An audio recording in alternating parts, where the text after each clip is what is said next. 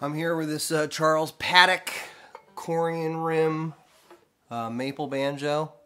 Um, this was his personal shop banjo.